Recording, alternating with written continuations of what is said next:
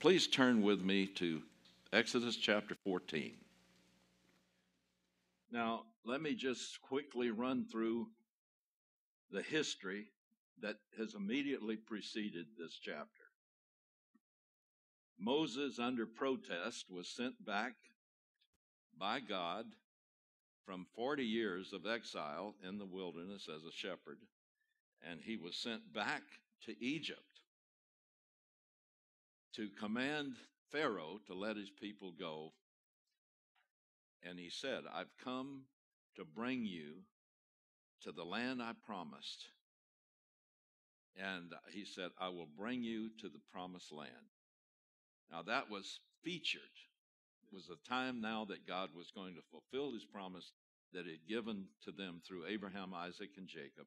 And he was going to bring them to their own land in Canaan and give it to them. So he came to his people, and of course, they were slaves, they were not organized in any way. And he told them that God had sent him to deliver them and bring them and fulfill his promise.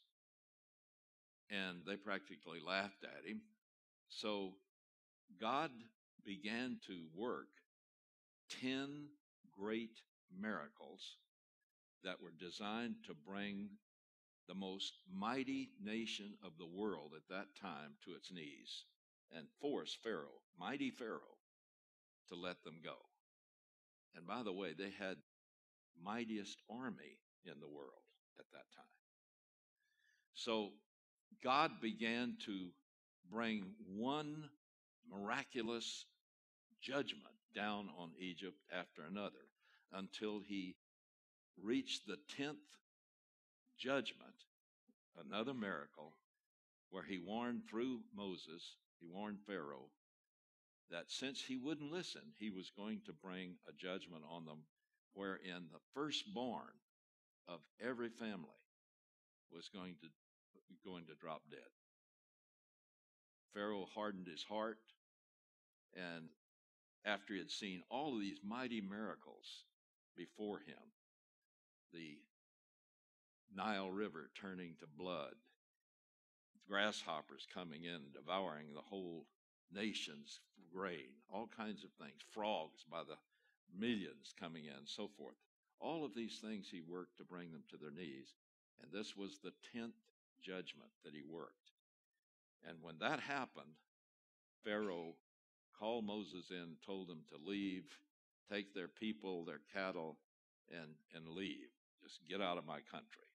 All right, all of that has happened. Now, I want you to realize what a miracle that was. Finally, the mighty Pharaoh lets these slaves go. They had no army, but God brought that nation to its knees with one miracle after another. And they saw it. And they were so anxious for him to go that every Egyptian gave them all the gold and jewelry that they had to help get them out of there. Now that's what happened. And here, you know, God sets up tests for his people. You know, the only way that faith grows is by exercise.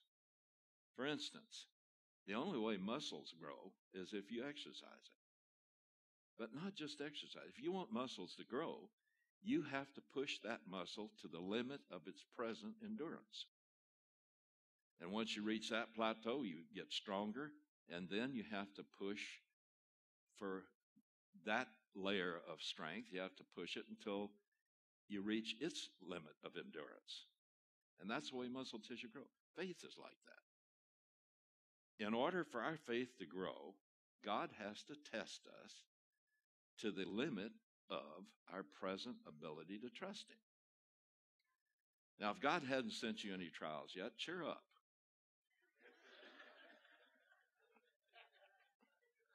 You will soon have the glorious opportunity to trust Him. But you know, you shouldn't dread that because it's exciting to see God work when you're in a hopeless situation and God is right there with you and seeing Him who is invisible take and take control. I've seen that time after time after time in my life. And you haven't lived yet as a Christian until you get to that point where you believe a promise of God despite what your eyes see, despite what your ears hear, what you feel.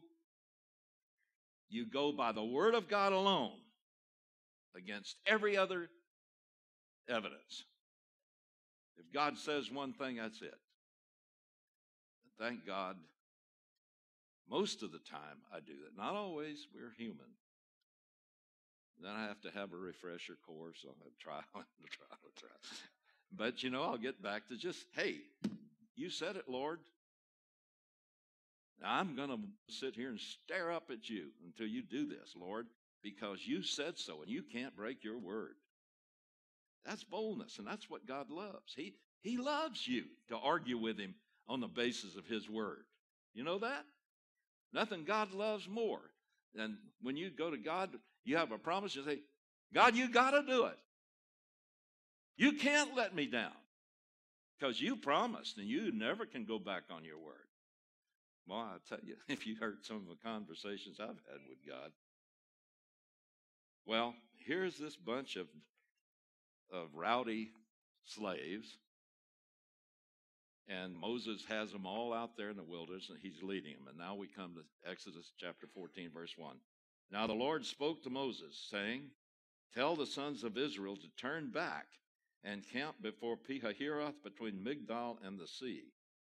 You shall camp in front of Baal-zephon, opposite it by the sea. Now, Moses was leading the people out of Egypt. And when they got to the border of Egypt, going into the Sinai, there was a road that just went straight on to the promised land. And when they got there, God said, Turn around and go back. And even worse than that, he said, and go north. Go along that, it's now got the Suez Canal going south of it. But there was a long strip of sea that came in from the Mediterranean that came into Egypt. And he said, I want you to go along that long neck of sea from the Mediterranean. And I want you to go to this special place. Well, he led them to a place where there was a little hill on the south, a little hill on the north. And he moved them in there, and they were kind of like in a cul de sac with their back to the Red Sea. Not a good place to be. To be in a cul de sac with no escape route. Who led them there? Why? He wanted to see if those knuckleheads had put together the fact that they had watched him work one supernatural act after another and break the back of the mighty Egyptians and free them without an army. He wanted to see if they could take that and apply it to a new situation and say, well, if God did that, he can take care of this. Because after all, the promise that was continually repeated to them is God is going to deliver you and he's going to take all of you to the promised land and give it to you, just as he promised. So they had a promise that he was going to do it. He didn't say, I'm going to get you wiped out and a few of you will get there. He said, No, I'm going to bring you all there. And he backed it up by all of the miracles he had done to get them out of Egypt. Got the picture? I'm going to use something I think I've used it before, but I want you to remember this. God wants us to learn spiritual geometry. And I mean by that, that it's like a right triangle. Do you know that if you know any two parts of a right triangle, you can figure out all the unknowns?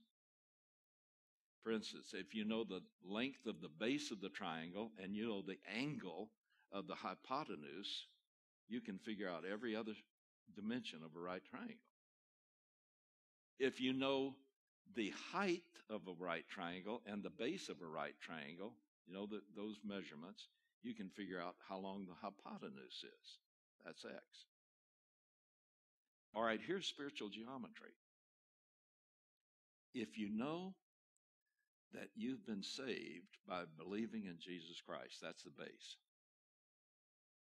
And the height of the right triangle, spiritually speaking, is the various times you've trusted the Lord and He has come through.